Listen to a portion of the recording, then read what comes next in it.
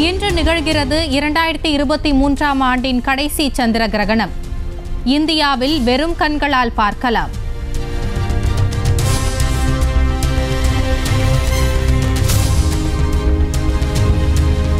சந்திர கிரகணம் நிகழ்வதால் தமிழகத்தின் பல்வேறு கோவில்களில் நடை அடைப்பு.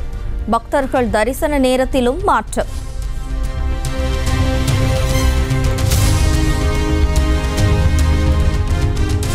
திருப்பதி ஏழுமலையான் கோவில் நடை இன்று மாலை ஏழு மணிக்கு அடைக்கப்படுகிறது. எட்டு மணி நேரம் தரிசனத்திற்கு பக்தர்களுக்கு அனுமதி இல்லை என்று அறிவிப்பு.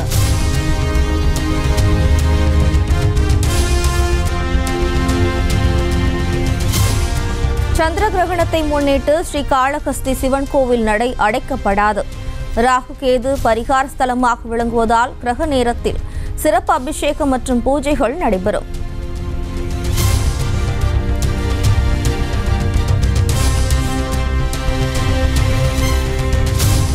இந்த ஆண்டின் கடைசி சந்திர கிரகணத்தை காண கொடைக்கானல் வான் இயற்பியல் ஆய்வகத்தில் சிறப்பு ஏற்பாடு. பொதுமக்கள் இலவசமாக கண்டுகளிக்கலாம் என்று அறிவிப்பு.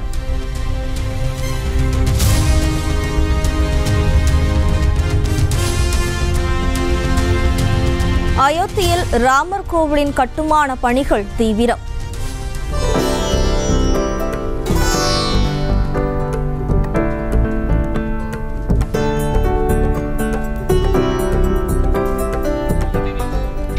ஜனவரி மாதம் திறப்பு விழாவிற்கான ஏற்பாடுகள் மும்முரம்.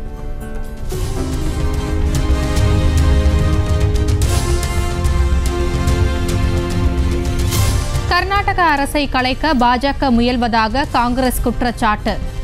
கட்சி தாவும் எம்எல்ஏக்களுக்கு தலா ஐம்பது கோடி ரூபாய் மற்றும் அமைச்சர் பதவி தருவதாக பேரம் பேசப்படுவதாக புகார்.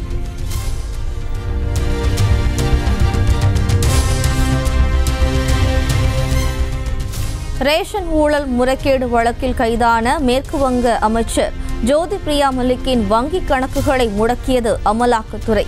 அமைச்சருக்கு சொந்தமான சொத்துக்களை முடக்கும் நடவடிக்கையில் ஈடுபட்டுள்ளதாகவும் தகவல்.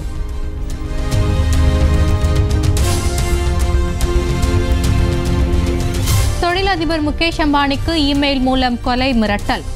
இருபது கோடி ரூபாய் அளிக்காவிட்டால் சுட்டு கொலை செய்வதாக மிரட்டியவர் குறித்து போலீசார் விசாரணை.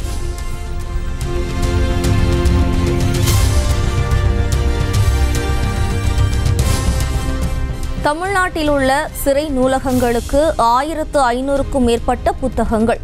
சென்னை தலைமைச் செயலகத்தில் நடந்த நிகழ்வில் முதலமைச்சர் மு ஸ்டாலின் வழங்கினார்.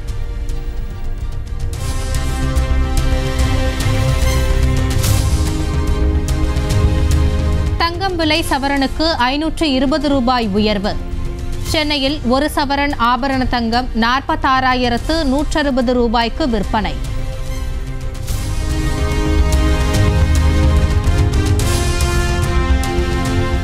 தீபாவளியை கொண்டாடும் பொதுமக்களுக்காக வரும் ஒன்பதாம் தேதி முதல் சிறப்பு பேருந்துகள் இயக்கப்படும் என அறிவிப்பு. ஒட்டுமொத்தமாக பத்தாயிரத்து தொள்ளாயிரத்து எழுபத்து ஐந்து பேருந்துகளை இயக்க முடிவு.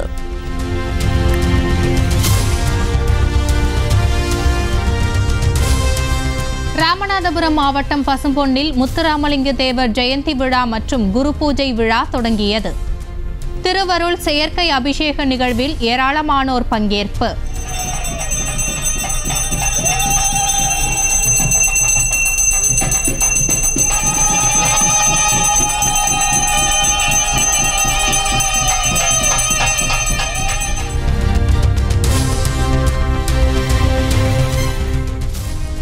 தேவர் ஜெயந்தியை முன்னிட்டு பசும்பொன்னில் ஆயிரக்கணக்கான போலீசார் குவிப்பு.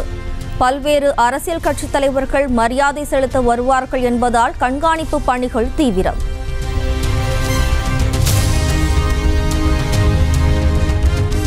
சென்னை டி நகரில் இந்திய கம்யூனிஸ்ட் கட்சி அலுவலகம் மீது தாக்குதல்.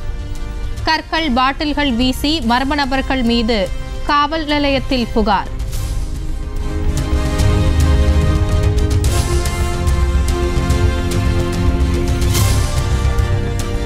இந்திய கம்யூனிஸ்ட் அலுவலகத்தின் மீது நடத்தப்பட்ட தாக்குதலுக்கு எடப்பாடி பழனிசாமி கண்டனம். ஆளுநர் மாளிகை அரசியல் கட்சி அலுவலகங்கள் என எங்கும் பாதுகாப்பில்லை என காட்டு.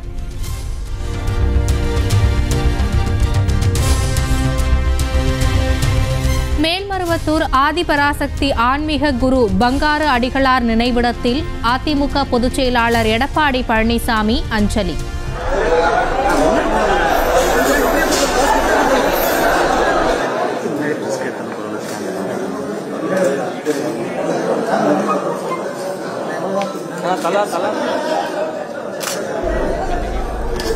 குடும்பத்தினரையும் நேரில் சந்தித்து ஆறுதல் தெரிவித்தார்.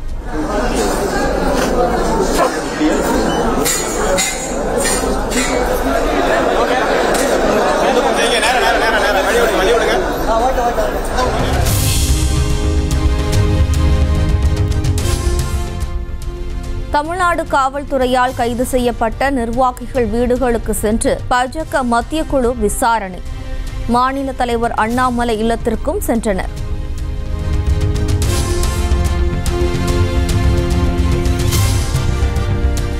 காவிரி பாசன மாவட்டங்களை வறட்சி பாதித்த மாவட்டங்களாக அறிவிக்க வேண்டும் என்று பாமக தலைவர் அன்புமணி ராமதாஸ் வலியுறுத்தல். சம்பா சாகுபடி இழப்புக்கு ஏக்கருக்கு இருபத்தைந்தாயிரம் ரூபாய் இழப்பீடு வழங்க வேண்டும் எனவும் கோரிக்கை. செய்திகளை உடனுக்குடனும் துல்லியமாகவும் தெரிந்து கொள்ள சப்ஸ்கிரைப் பண்ணுங்க.